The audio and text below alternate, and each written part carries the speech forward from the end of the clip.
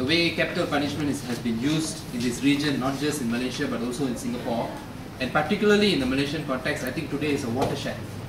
I say today is a watershed because today for the first time we have got the representative, the legal representative of one of our citizens who is in another country facing death every day.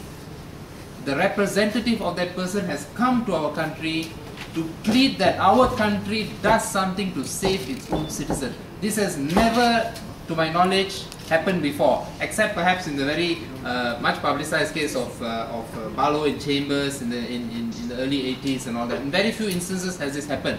And in the case of one of our citizens in Singapore, I think this has never happened as far as I understand. And this is a key point because a large number of Malaysians are arrested under Singapore's harsh drug laws. They are tried, they are sentenced, they are executed, and the Malaysian government has remained silent. As an anti-death penalty activist and human rights lawyer in Malaysia, I am disappointed with the attitude of our government.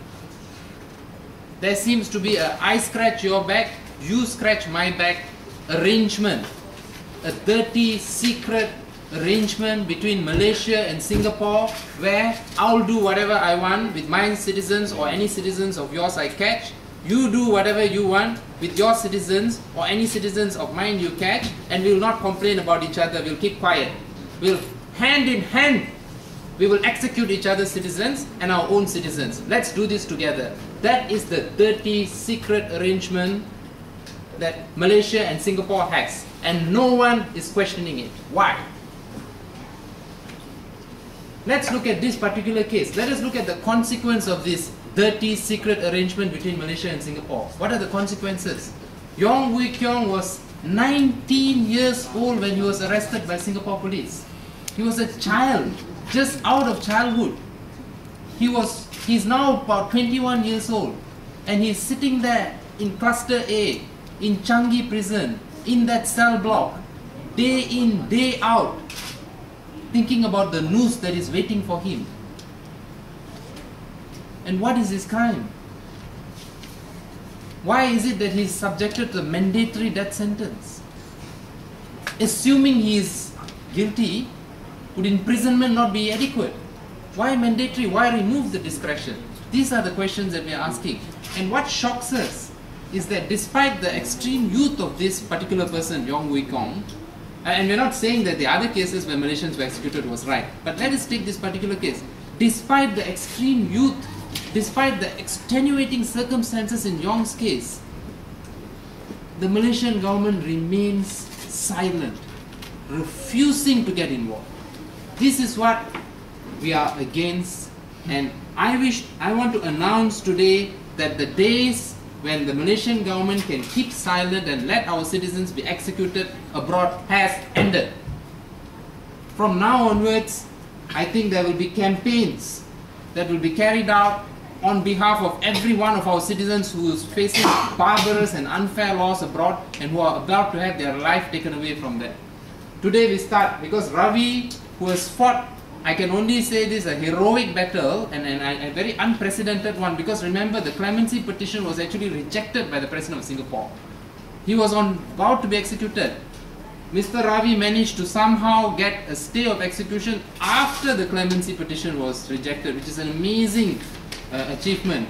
And he remains unsupported by the Malaysia or its government. It is a shame to all of us. It is a shame to all Malaysians. So I call upon, we call upon the Malaysian government to snap out of this attitude that is taken and speak up for our citizens. Let us save Yong Vui Kong's life.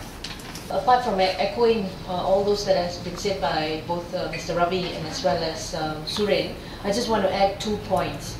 Um, one, uh, before anyone jumps into this whole issue that under Islam there is uh, punishment, therefore we cannot object to uh, such punishment and all that, I just want to state very clearly, uh, there is no such concept of mandatory death penalty under Islam. So I just want to put that on record before we get any ministers coming into the picture and giving that, that restriction. Now, secondly, um, I also want to say that uh, two weeks ago, we hear this heroic uh, rescue mission by uh, uh a certain number of people from uh, UMNO who went to Laos to rescue a Malaysian citizen uh, who has been kept in detention for a year for purportedly trafficking offense or smuggling, if, I, I'm not mistaken. Now, they went all the way to rescue that person. And he's a very lucky person to, to, to get that kind of support. I think what we need to do is, in a similar way, this rescue mission should be done uh, for Mr. Yong Vui Kong.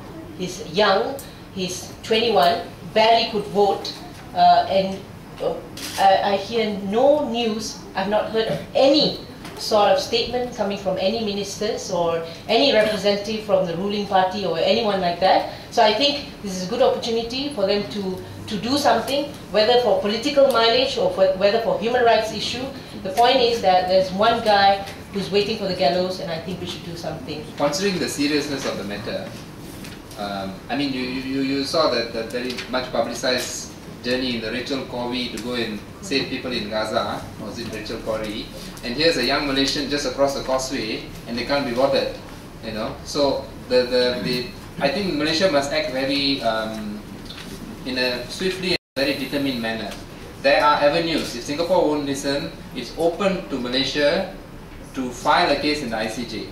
Because remember, this is not just a case of saying, look, don't execute this guy, he's young, blah blah blah. There's a further point here, there's an illegality involved here. The Singaporeans broke the law. They abused the clemency petition, their government and their cabinet abused the clemency petition Yes. process. Okay? Instead of letting the uh, president decide, the cabinet usurped his role. So you go, you're talking about a stark illegality in the legal process. That gives an opening to the Malaysian government to go to the ICJ.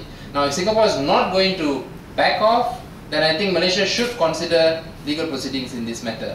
And, and, and because we're talking about the saving of a life, other considerations must take a back seat. A human life is sacred. Any life is sacred.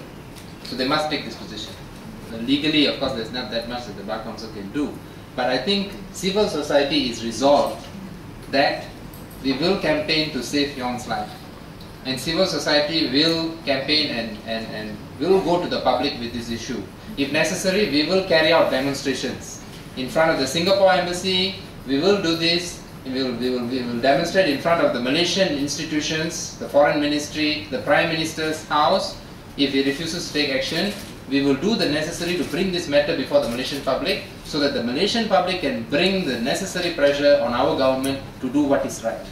We will, we will, we will do what is necessary.